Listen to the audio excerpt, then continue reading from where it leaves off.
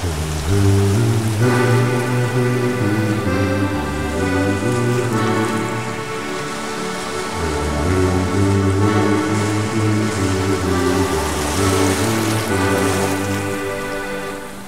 ole